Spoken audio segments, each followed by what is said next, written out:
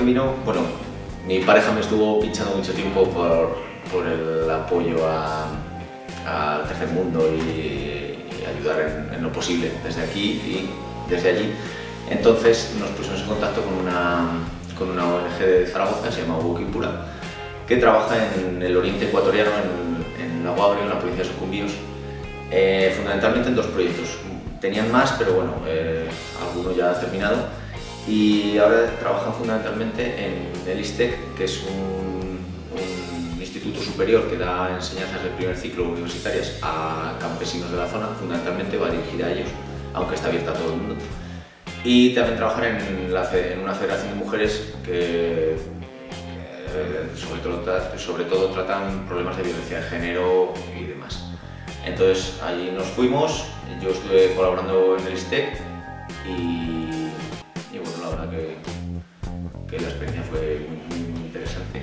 Yo de entrada, eh, pues inquietudes de este tipo siempre, siempre se tienen, ¿no?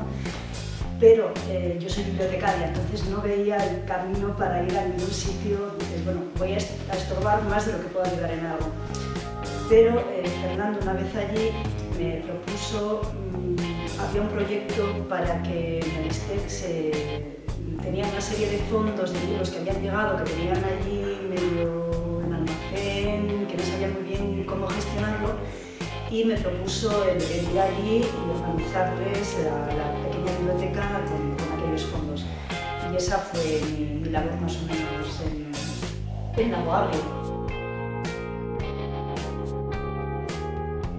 bueno, allí siempre hay muchas cosas por hacer y entonces pues cada aportación es, un granito de arena que se va amontonando pero queda mucho.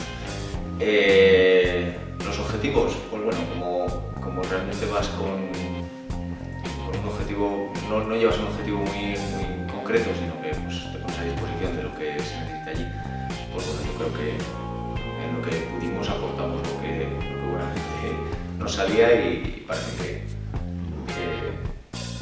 que sirvió de algo. Sí, lo, que pasa es que te quedas un poco con ganas de más. Entonces dices, vale, yo he ido, he iniciado esto, pero caray, quiero seguir allí, seguir haciendo cosas, poder mm, ir rematando las cosas que has empezado.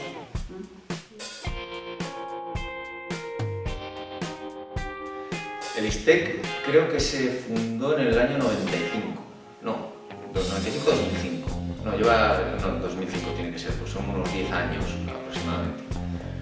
Eh, nació porque se vio la necesidad de dar formación a, los campesinos de la zona porque aquello fue una parte del país que hubo una colonización muy rápida a raíz de que se descubrió petróleo. Entonces el gobierno les, dio tierras y ya está, y os, os apañéis con ellas.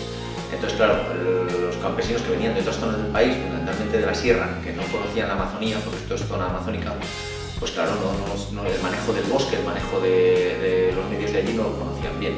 Entonces se vio esa necesidad, se creó esta institución, pues la orientación fundamental es para dar formación a la gente que ya tiene tierras para que la apliquen en sus tierras. Luego ya, pues cada uno, pues cuando ya tiene un título universitario, algunos han ido a trabajar a otras empresas y tal, pero pero también que les sirva para que su propia finca, pues hacerla más sostenible, más, más auto...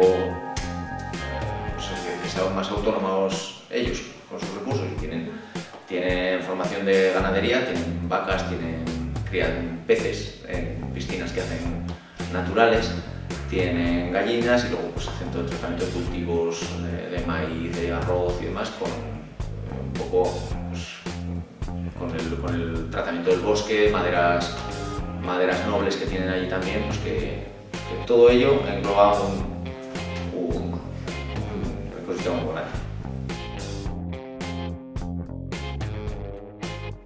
Eh, del instituto sí, que, sí, que se ha notado porque también se ha, o sea, el, instituto también ha tenido algún proyecto de conservación de bosques eh, que se ha trabajado ya no solo con, con estudiantes, sino también con, con, propietarios de fincas que tenían la necesidad de, de, pues eso, de, tener más, mucho mejor su finca y de plantar pues, especies que luego les sirvieran también para tener unos rendimientos económicos y demás. Entonces se han hecho planes de conservación, se han hecho eh, se han introducido cultivos y bueno, el impacto ha sido, ha sido importante. Y sobre todo hacer una gestión más sostenible de, todos los recursos naturales los que ellos tienen tantísimo.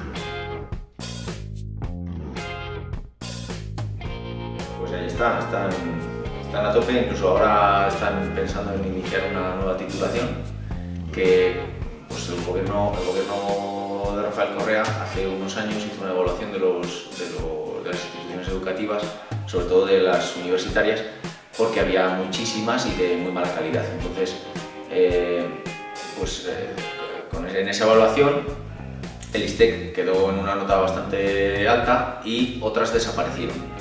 Entonces, allí en la zona ahora mismo han hecho un hospital privado y un hospital público y entonces tienen necesidad de personal sanitario. Entonces ahora pues están, que quieren iniciar con los estudios, de enfermería. Eh, eso es lo más, lo más nuevo que tienen allí pero de todo lo anterior, de los estudios que tienen de agroforestal, agroindustrial y gestión de empresas de economía social, pues ahí, ahí están con ello y tienen sus alumnos y van, van trabajando. Pues la Universidad de Valladolid, precisamente ahora tenemos un convenio marco que lo firmamos con ellos y hemos estado colaborando estrechamente bueno, aparte del voluntario que hicimos nosotros de manera individual, pero también la universidad ha, tenido fondos para financiar algún proyecto que se ha hecho allí. Sí, incluso con el tema de la biblioteca también eh, se hicieron donaciones de algunos portátiles o lectores de códigos de barras, pues material un poco para que empezara a, Sí, incluso alumnos, alumnos se han estado enviando alumnos a, a Yalistec para que tuvieran una experiencia de dos o tres meses con las becas FACIT de la Junta de Castilla y León. Y bueno, pues ahí vamos trabajando y a ver si vamos a, avanzando un poco más y conseguimos también intercambios de otro tipo, de profesores o incluso de personal laboral, bueno, pues colaborando lo que podemos.